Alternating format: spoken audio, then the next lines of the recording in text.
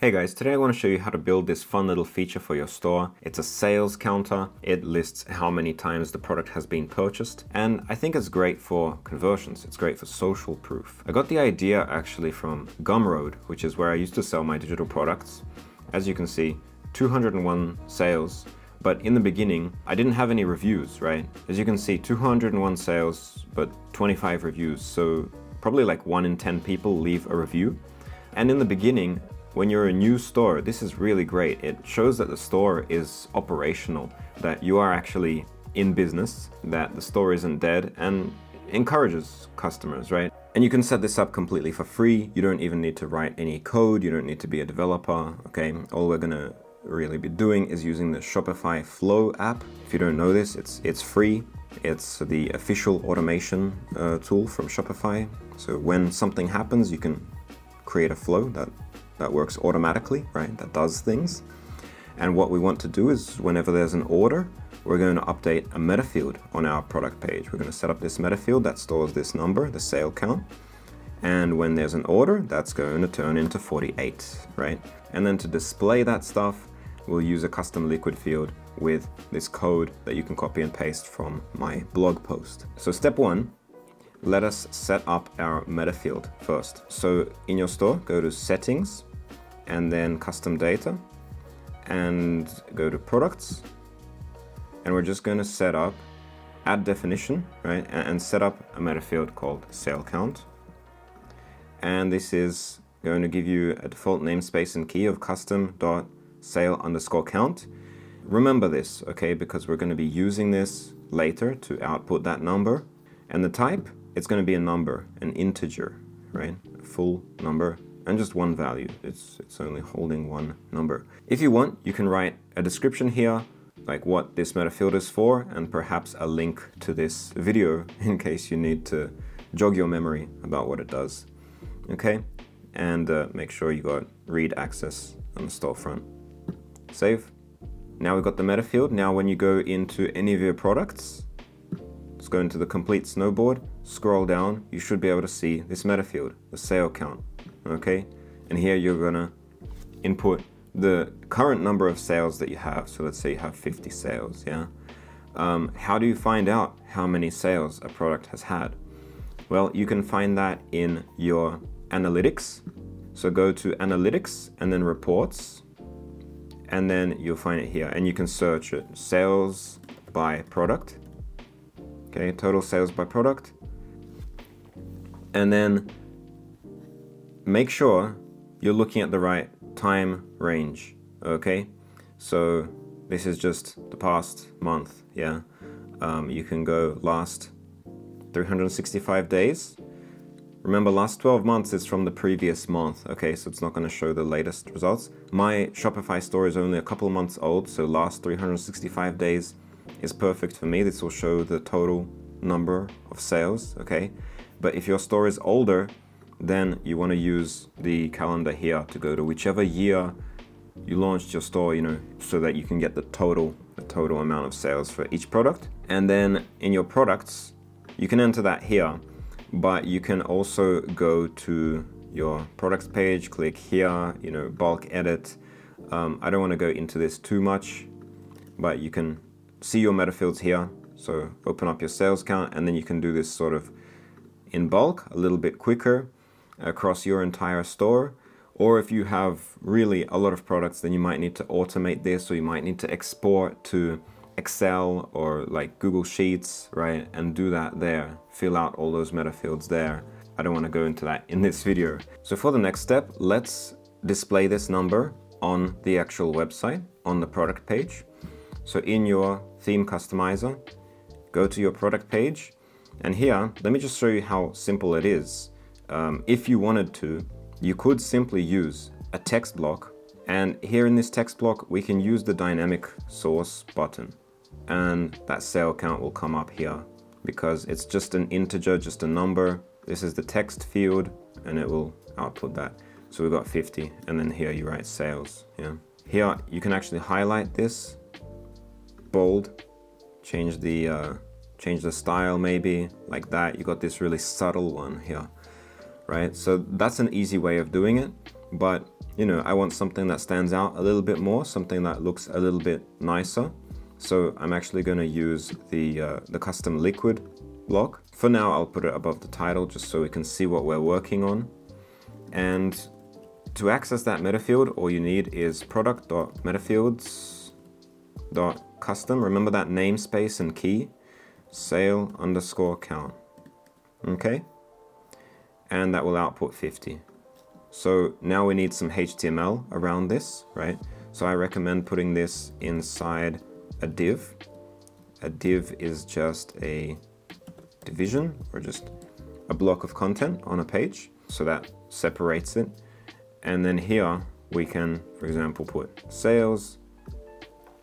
We can wrap this in strong tags to make that number bold, like so, right? Lots of things that we could do to it. Uh, but at this point, you might want to copy and paste from my blog post.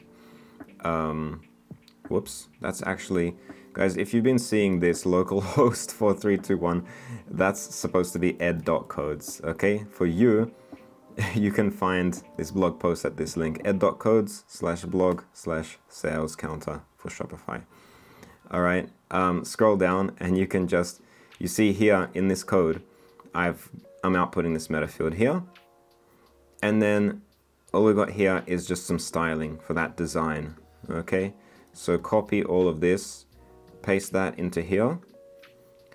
Um, and there we go If you're wondering what this is, that's the actual info icon SVG. That's why it's so random and unreadable, but the rest of it is quite readable. If you want to change the color of the icon, you would change that here. If you want to change the color of the background panel, uh, you would change that here. You might also want to change the width. Right now I have it set to the max width of the buttons in Dawn and in Dawn based themes, uh, 44 rem. But uh, in your theme, if you're not using one of the free Shopify themes, it might be a little bit different, so you might want to change this number. So now that we're displaying um, our meta field and we've got it nicely designed, you can position it anywhere you want. Uh, I'm just going to save for now. And the final part would be to automate this number, right? We want this to go up anytime this product gets sold. Okay, so finally, let's set up the flow that's actually gonna make this useful. Uh, so get Shopify Flow if you don't already have it installed. Let's create a new workflow. Select a trigger, and the trigger is simply going to be order created. You can search, I always recommend searching, order created. When an order is created, we want to do something. We want to perform an action, and that action is going to be loop over every item in the order, okay? So there's something called a for each loop. You can just search for it again like this. So for each loop, it's going to loop over each item in a list. Our list currently is in an order. You have a list of products that were ordered, right? So it's going to loop or go over each one of those products and then do something for each one of those products, right? So first of all, let's select the list that it's going over.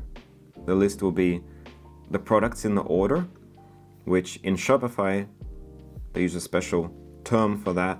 It's line items. When you add something to the cart, every product is on a separate line, right? So line items. So for every line, we're gonna do this, do this for each item, another action.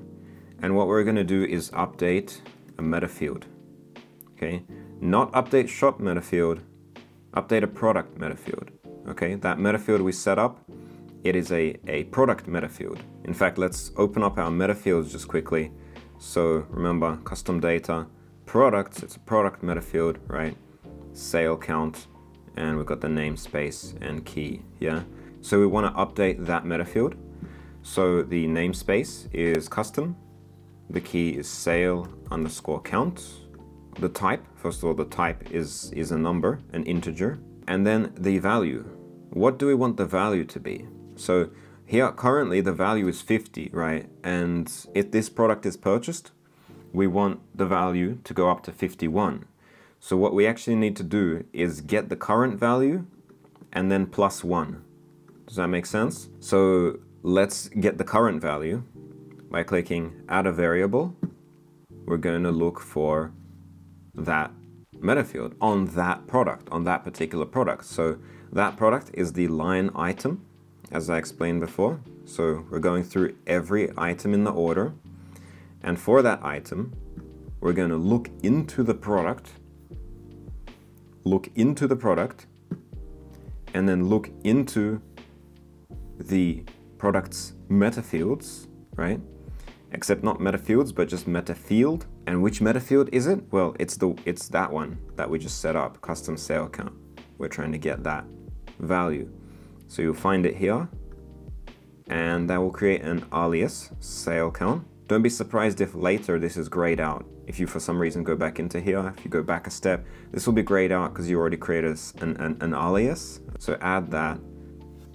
And now this will appear on the fields with arguments. Okay, sale count. And here you select value. So we just want the value of that meta field. Now you'll be back at this screen and you'll have this being output here. Notice it's different from what we're outputting um, here it's totally different. This is product meta fields custom sale count. It's quite simple. Uh, here, it's for the order, right? So it's a little bit different and it uses the alias. But anyway, what we're getting here now is 50. So in other words, when an order is created, we're updating it with the number it already is. Uh, so we want it plus one in some way. And that's pretty easy to do with liquid filters. Use the pipe symbol here. It's uh, the same key as backslash. And we're gonna do plus one, like so. That's how you do maths in Liquid. Okay, so that's about it. You can close this now and you can turn on the workflow and actually give it a better name, sale counter. The workflow is turned on and that should be it. Now we can test if we've done everything correctly. So you can simply make a test order on your store. Add to cart, check out. You need to have bogus payments activated if you're using Shopify payments. And when you have that bogus payment method, you can use the card number 1, security code 111, expiration date anytime in the future, and yeah, any name. That should be it. And now let's go back to the flow we created, refresh, and you should see that it has run, it has completed, right? it updated a meta field. Excellent, succeeded. And when we go back to this product page, let's refresh here. We should see 51 sales. No? Okay, you see I just had to refresh two times. It didn't show up right away. But there we go, 51 sales. And of course, when we look at that product page, we will see that the meta field has been updated here with the number 51. And that is all for today, guys. If you enjoyed my teaching style, if you found this video easy to understand, then you might also like my ebook. So check that out on shop.ed.codes. And please also leave a like and subscribe if you haven't already. Best of luck, and I'll see you next time.